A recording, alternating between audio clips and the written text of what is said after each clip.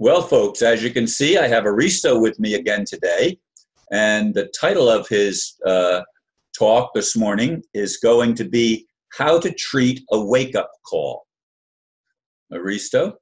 Thank you, Ron. Ron has no clue what I'm going to talk about because you know I just threw this title at him after a long discussion about you know time and schedules and keeping everything you know commitments and stuff like that. Um, and most people I know are into you know saying I'm going to be there at this time, or some people and the other side may say yeah but you're kind of telling me that we have to be there at this time. Can't we just be more flexible?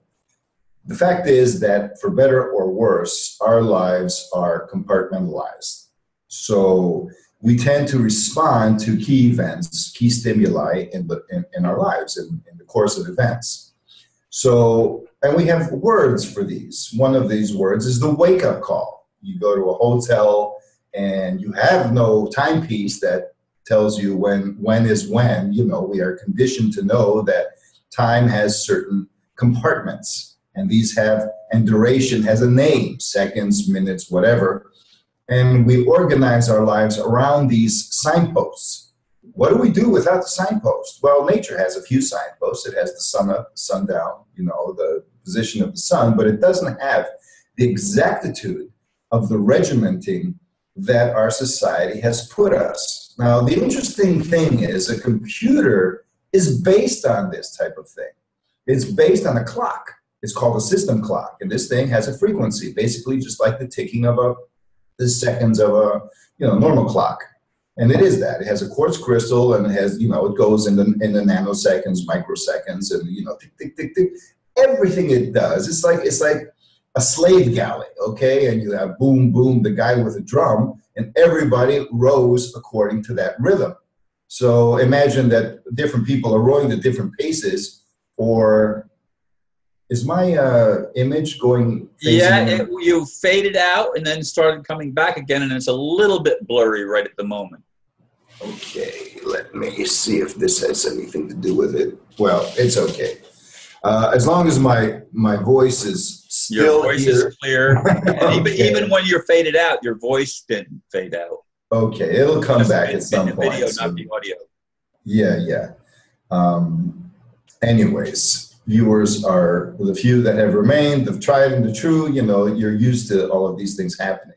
The point is, again, back to the topic, is that we are dancing to the beat, we are marching to the beat of a specific drummer those who are original, they are not off the drum. They don't go off by themselves doing whatever they please, whatever. They still march to a beat. It may be of a different drummer. You see, even our, our euphemisms are all about keeping the pace, are all about keeping a rhythm. Yeah, and you say, well, uh, the body has a rhythm, everything vibrates. Yeah, but there is no specific system clock that tells us we have to all vibrate in coherence to that. Everything actually vibrates in coherent to the other. We may identify a system clock, say the heart's the system clock, or the brain waves, but all of these things kind of fluctuate. And so you don't have a specific um, master rhythm in that sense. All rhythms are interdependent. You may call them codependent. The point is that the wake up call is one of those signposts. It's part of that rhythm. So wake that that's very interesting because you know we use the euphemism in the alternative community, so to speak. Um, when somebody is, you know, into the same old, same old, and society is run like this, whatever they tell you, you know, whatever you're told, um, because of course, if you use the word "they" too much in this context, then you're you're, you're insane. Then you know, it's a stereotype. You know, insane people speak about them. You know, and they and oh, who are they? You know, so it's an indefinite threat. So in any case, the wake up call is gets you up, so you may still be in the rhythm of the situation, but this time you are perceiving and, and understanding hopefully what's going on around you. Now, the point is, you're not free, okay? So, how do you know? I mean, if you get a wake up call, how do you know that you didn't fall back asleep? Well, you get up out of bed, you go through the day, and hopefully you are marching at least to the beat of a different drummer, so to speak, so you can tell the difference between drummer A and drummer B. You know, the drummer of that, that you hear when you're asleep and the drummer that you hear when you're awake. However, sometimes the alarm clock goes off and we tend to fall back asleep and we dream that we're awake. So this wake up call, how do you know, what are you talking about now? Well, listen to the metaphor. The metaphor is that first, even when you're awake, you're still dependent on a master beat, a master drummer, a master, you know, clock. This may help you organize, but in the end, you know, is life that regimented? Is life that square? Does life have corners? Maybe if life, the life you knew has four corners, now you're in a life with five corners and you think you're free. One more corner to, to, to register. So all of this is relative, and the reason I'm saying it is that I believe it's important, at least for some of us. You know, I believe we're past the age of saying, "Let's wake people up." You know, let's wake everybody up. The people who would have awoken up are awake or at least still awake. And now there's the process of let's not fall back asleep.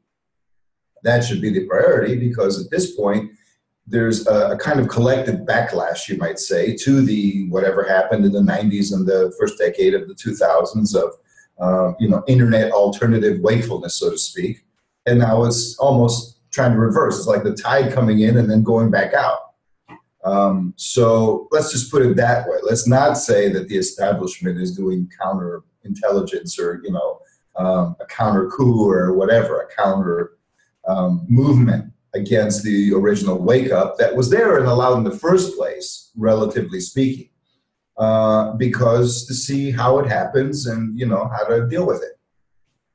In the 80s, there were conspiracy theories, you know, but if you went out and talked about those, you could lose your job, literally. I mean, people would say, even up to the 80s, in the 70s, you know, you were branded uh, somebody with psychopathology. So it's nothing new. It's not like, oh, the establishment is against us.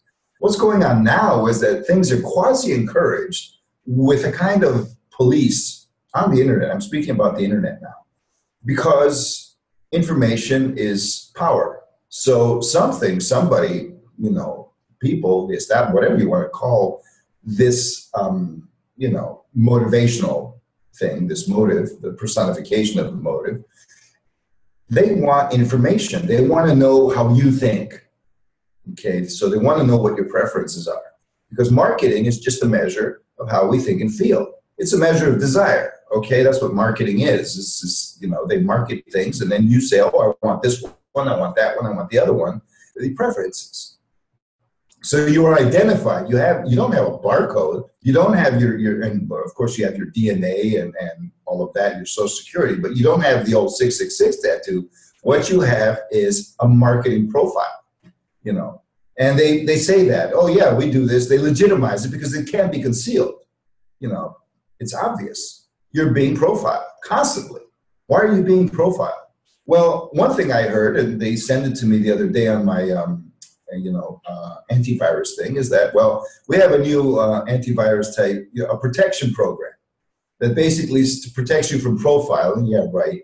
Um, because if people profile you, then they sell the information to companies. Then the companies, when you Google something, the the search engine will register on your profile and give you the items that it believes you want first because of this data bank that's in your computer that it picks up on. So what, when that happens, you will then be prompted toward products, you know, and these products, the prices will be jacked up. Uh, somebody who doesn't really match the profile for those products will get a far cheaper price than you because they know you want them. They know you're more likely to buy them, so they raise the prices just for you. Now that's just something that, you know, they always put it in terms of economics because the Westerners are conditioned to justify it. To say, oh, it's only greed. We're all greedy. Hey, maybe they get away with it a little more. I don't have to get really pissed off and start a revolution, you know, or something so horrific like cannibalistic pedophilia or something that you get uh, and you can't move, you can't react, you're just in shock, and then you get numb. So they keep you, you know, between these two extremes. That uh, on the one hand, you're shock, numb, terrifying, so forget it. It's just I can't even face that.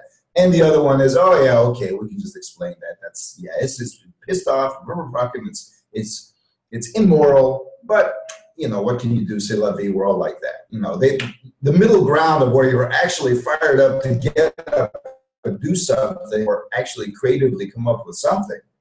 You know, or at least stay awake. Really, instead of just telling yourself you're awake. Um, that's expertly being avoided. And if anybody does come to that middle ground, a certain reasoning uh, that actually gets people to pay attention, then the trolls come in. On the internet, at least, you know, because you have the internet where you're so bullied if you think differently.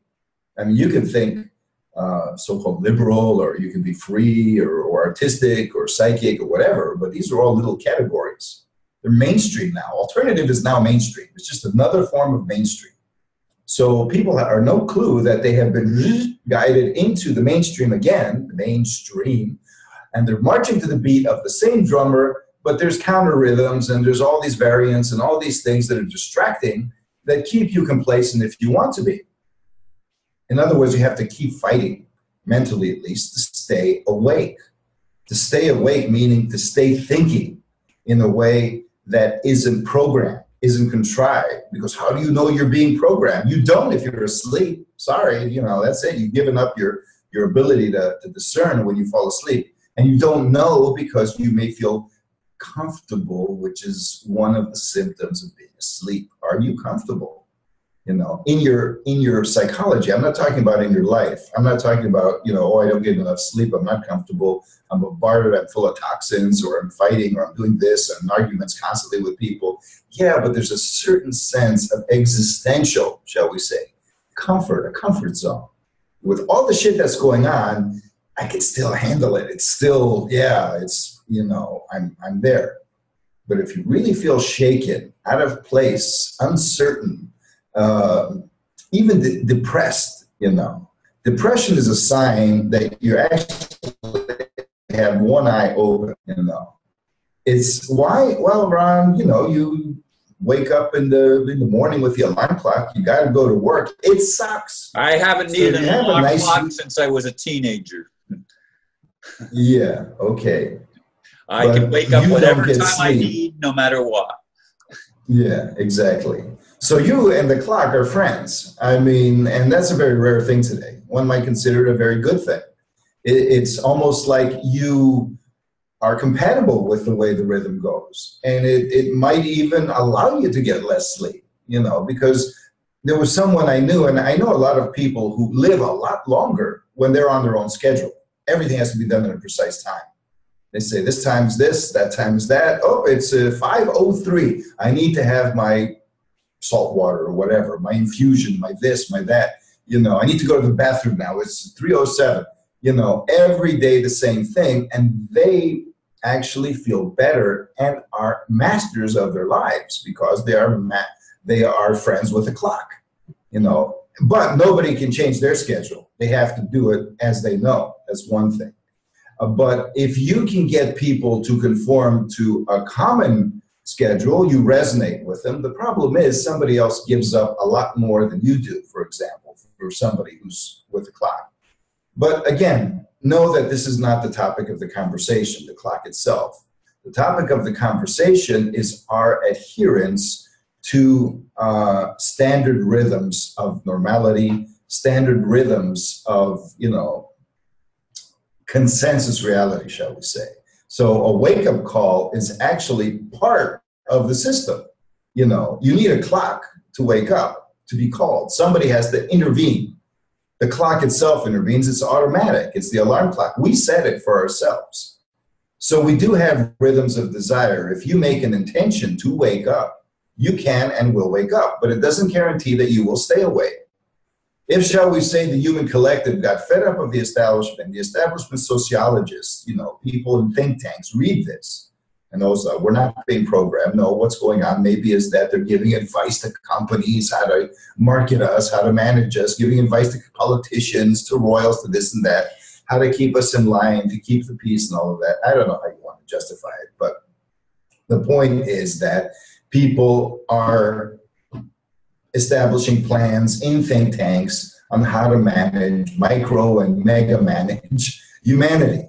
We are being managed. We are being told now we have to do this. Oh, climate change. Now you have to all do this. Everybody gets on the bandwagon.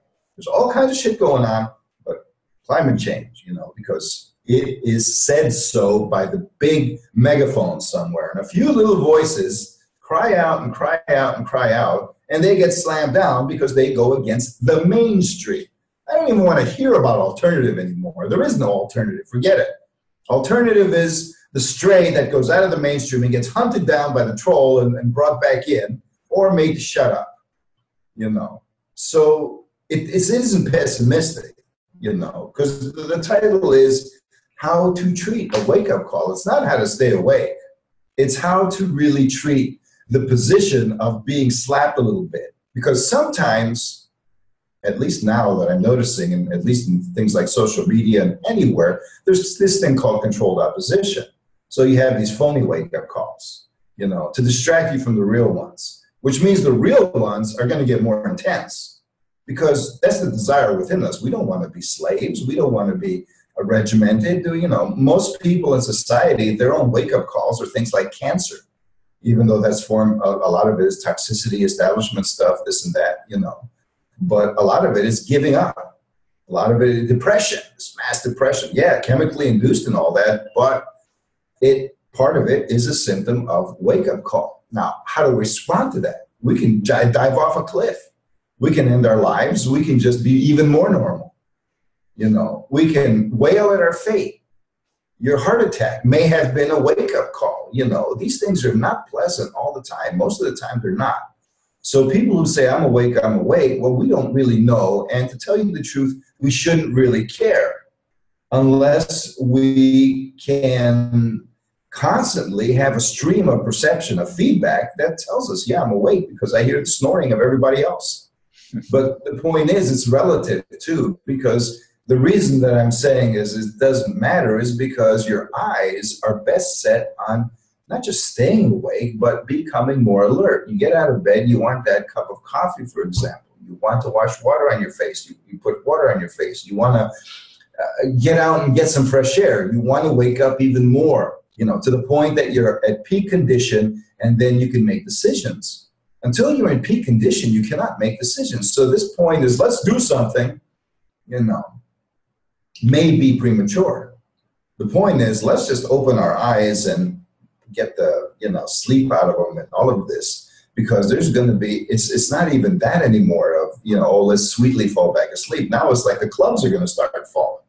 Club us back into unconsciousness. And then the, the you know and after that who knows what? Because this is all for a reason and the reason is exploitation.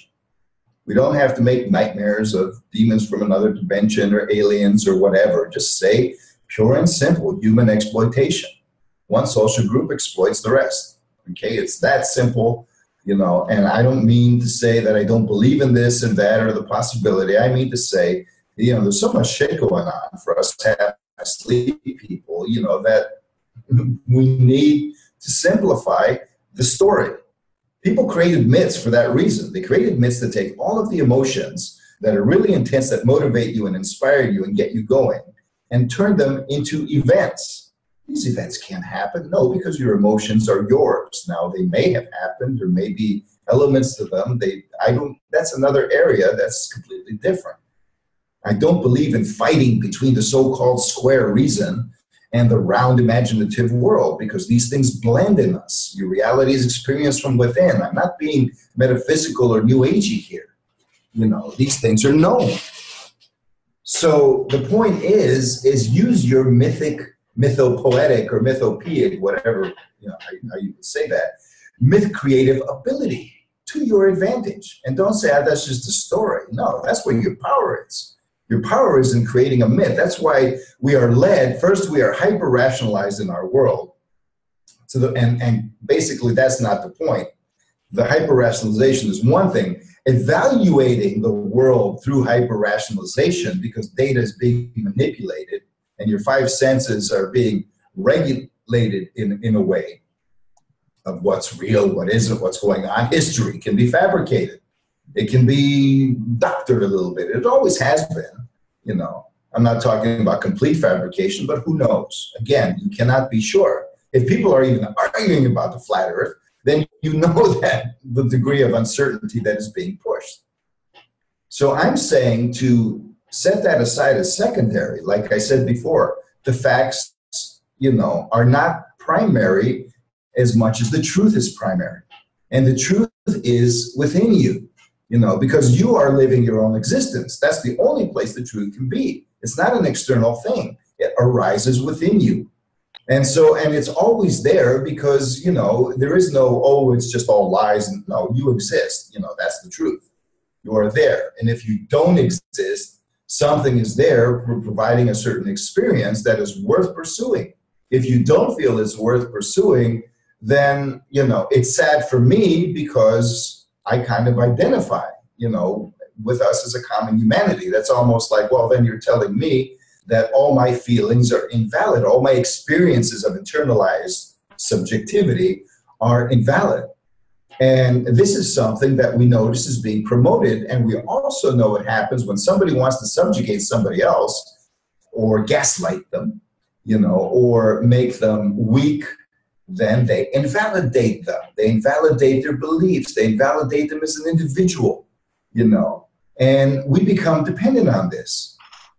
We can't help it. We're social beings. So then the opposite happens. People are politically correct to avoid the impolite sensation of invalidating others. Oh, and that's also being manipulated because by not being true to ourselves, we end up invalidating ourselves for the sake of propriety imposed upon us. Because we are being shown videos of people throwing tantrums in their, in their special spaces or whatever. People who are bullied, then we identify, oh, now you're the bully. Well, you know, the way a bully really works is, is not just by brute force all the time. Sometimes it's subtlety. And they laugh at you, you know, they make you feel guilty about something that they do all the time and even more. And they laugh at you because you're a joke to them. You can't be taken serious because you've agreed to invalidate yourself. You know. So the thing is, yes, but the truth is that the world sucks. The, the world sucks for a thousand million different reasons so we each go on our own crusades thinking just to pat ourselves on the back. And it's always been that way.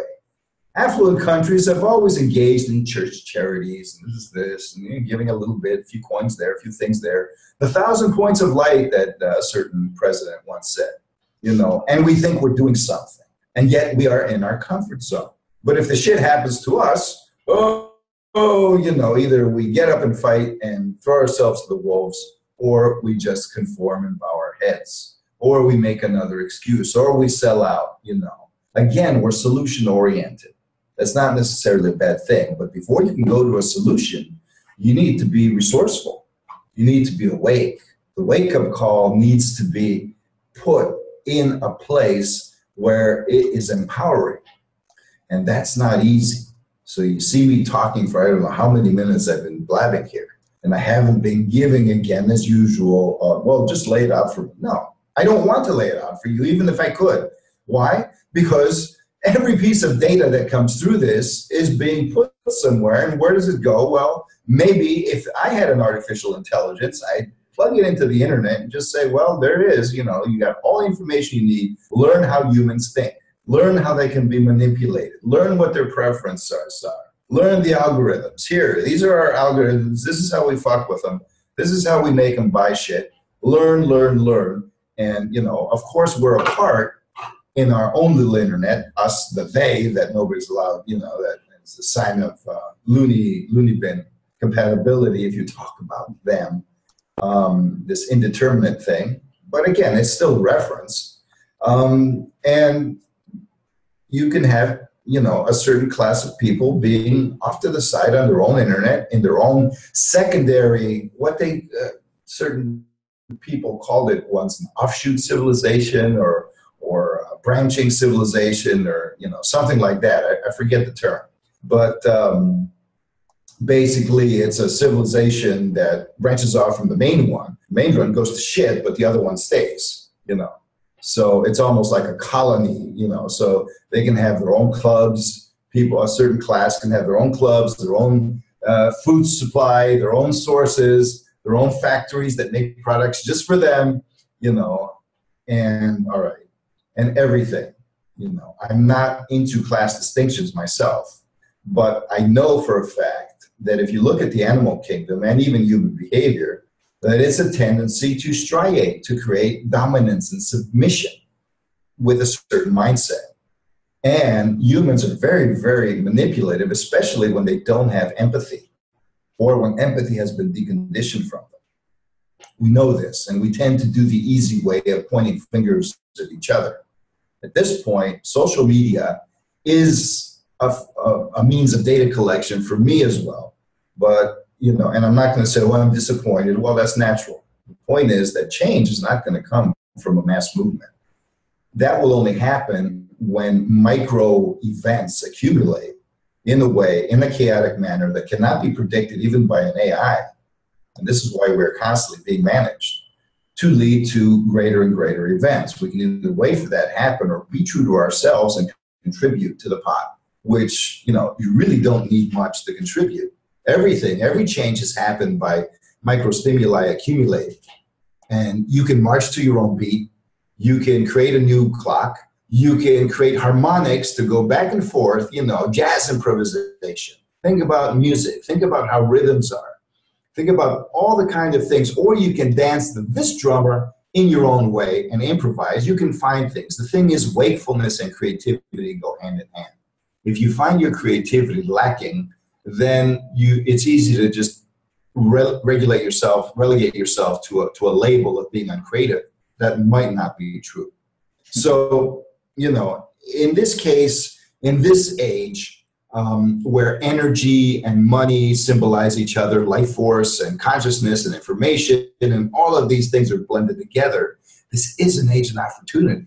It's not the age of being enslaved yet. We are enslaved in some ways, we are forced, we are coerced. That's a different thing. Slavery is something else. I said it before. It's a state that's far more, and when they when, when you're being conditioned to think you're a slave, you give up easier because a slave is a lifestyle that is, there's no way out really. You know, liberating from slavery is far more difficulty, difficult than being liberated from coercion or resisting coercion or stopping coercion. So think about it this way, you know, small steps. You can still do it, you know. This, this is the point of where I speak to individuals. I'm not speaking to a big group and, and seeking for mass movements and, and let's coordinate let's do this because right now you know everything you do is going to be food for the ai or somebody who wants to market you or market to you or just put it that way you know for whatever reasons so if you want to be free you got to do it in a way in a very very clever way the way of the awakened person okay so if you don't know what that even means or aren't sure or think you're sure even then pay attention to wake up calls. Some of them are pleasant, some of them are not. Some of them are subtle, some of them are strong. Some of them are forced and false.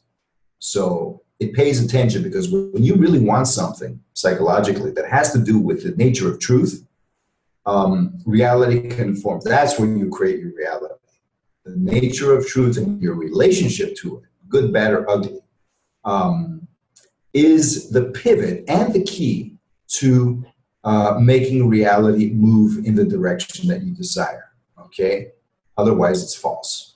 So that's my little piece of wisdom for the day. If you can contemplate it or think about it, or uh, you know, see if it means anything. It's a little paradoxical, but um, it may lead somewhere. So with that, I will leave you and thank you once again for listening to the rant. Namaste. Thank you, Aristo. And the namaste means that we are all in the same boat. You know in one way or another, maybe deeper than me. I recognize me in you. That's what namaste means to me. Anyway. Okay, thank you.